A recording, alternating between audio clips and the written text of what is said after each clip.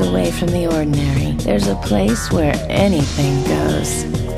Where the excitement never ends and the party never dies. And the party never